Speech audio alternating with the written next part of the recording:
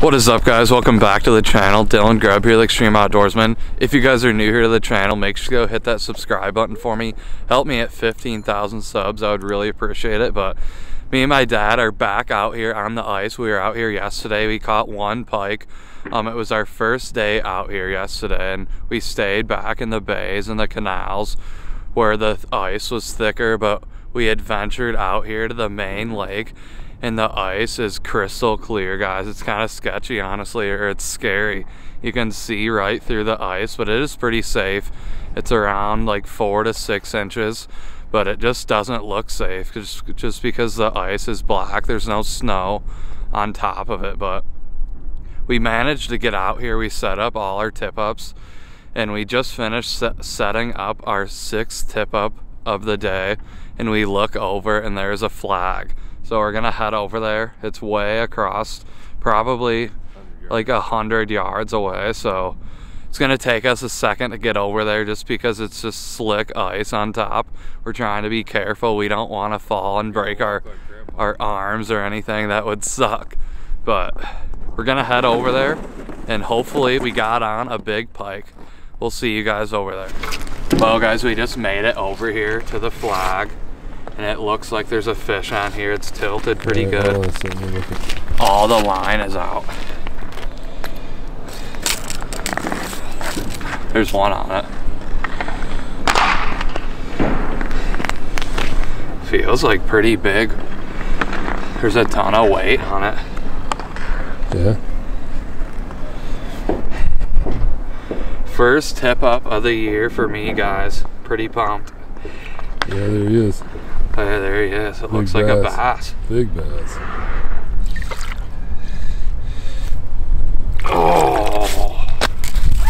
The heck? Check that out, guys. Probably like a three and a half pounder. Maybe a four pounder. That's pretty sweet. Yeah. First fish of the year for me is a largemouth bass out here on the ice. That is super cool. Right there on that sucker minnow. We just set this up probably around like 15 minutes ago and we look over and there's a flag.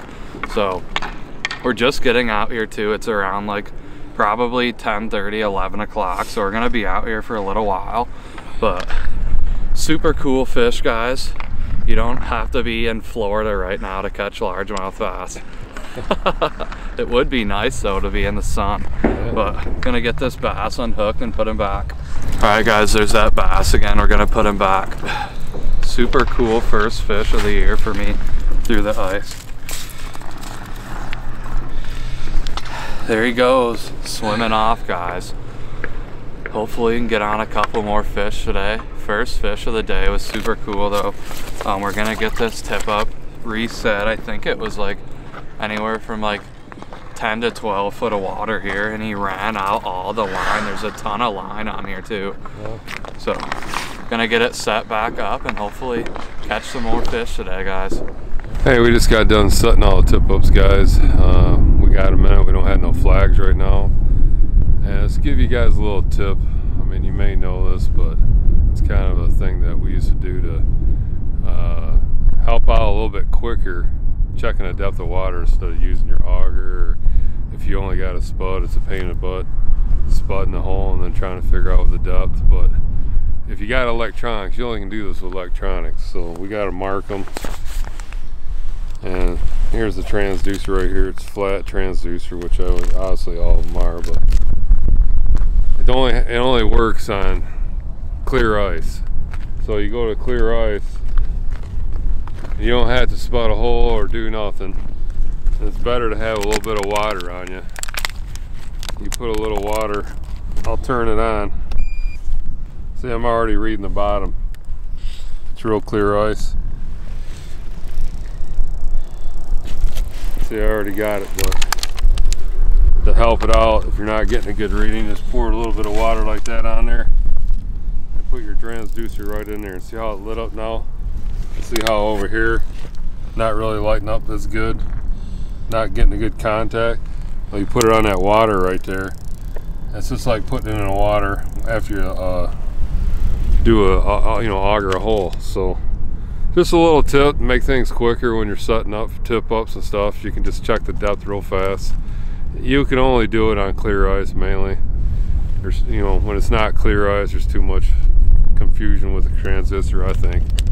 Not being able to read right through. But when you got clear ice like this to make it quicker, just pour a little bit of water on on the ice and then put your transducer right on it and you'll read just like you're in the water after you cut a hole or drill a hole. A little tip to help you guys out, be quicker about setting up.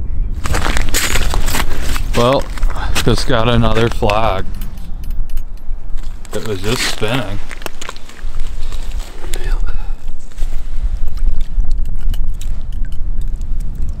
Fish? No, I don't think so.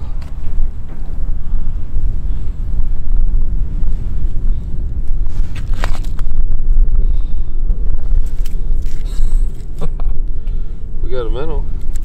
False alarm. False alarm. Shoot. Well, that's never fun. False alarm. We've been out here for probably, what do you think, Dad? Couple hours? Been out here probably a couple hours. Had one flag earlier this morning. We caught that bass. So that was pretty sweet. And we just had this one.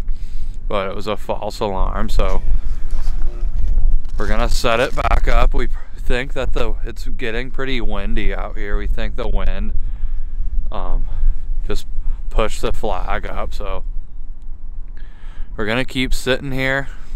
Hopefully stay warm. It's pretty cold out here right now. But hopefully get on a couple more guys. It's been a pretty tough tough couple days. Only a couple fish so far this year, but we'll find them. We're just gonna keep moving spots, try to locate where all these fish are. Because one year we came out here, we've had we had like I think almost 30 flags in one day. It was the craziest ice fishing I've ever done, honestly. But I don't even know how many pike and bass we caught. It was crazy. And then the next couple days we had 20, 30 flags again. So that year was just pretty crazy. I caught one of my biggest pike ever. I think it was like 38 or 39 inches, almost 40 inches. So it was pretty cool. But we're gonna get. Yep, it's better than sitting at the house. Maybe we'll get on another one, guys. We're gonna keep sitting here, waiting it out. We'll see you guys here in a sec. So guys, we just looked up and there is a flag over here. We're walking over to it right now.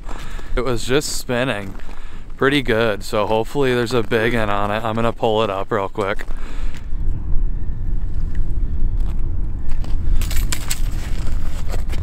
Something's on it. I think it's another bass. He's doing like bass head shakes. Oh, he's off. Unless he's coming this way. It just popped off. Really? Yeah, it was a bass, I think. He was just shaking his head like crazy, you know? You could feel it. Shake back. Yeah. I just felt him pop off. Dang it. Rookie mistake. You don't catch them all, guys. Dang it. That sucks. Minnow still on there? Yeah, minnow's still here. I guess you can see a little mark maybe where he got hit. See that? Yeah. That's depressing. Alright. I guess we're gonna set this back up. We're gonna be out here in like another hour, I think, so. There's a flag over there. Really? Maybe they're gonna start hitting. Alright, we're gonna sweet. head over to that one.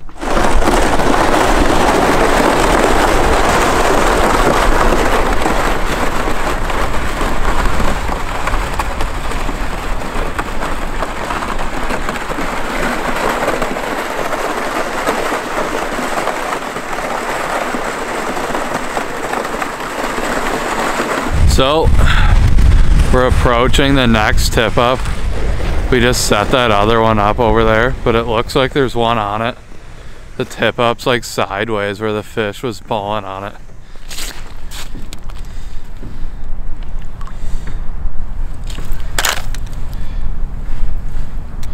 Fish? I don't know. I don't feel anything. Unless he's just not fighting or something.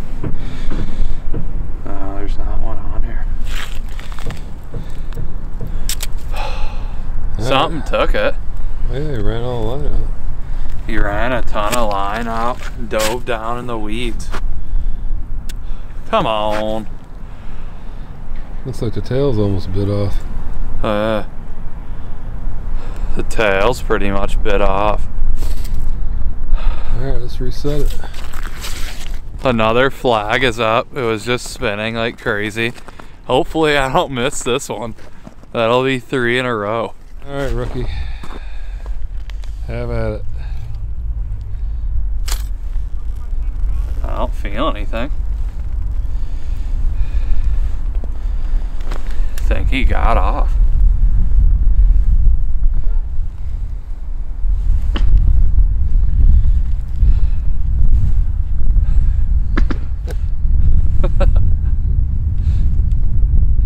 Nice. Alright, let's reset it. Oh dang.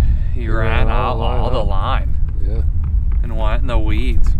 We actually, with this tip up, we put a little um, soft plastic swim bait on there just to give it a little color. It's a chartreuse swim bait. We figured maybe it'd do something, and I guess it did.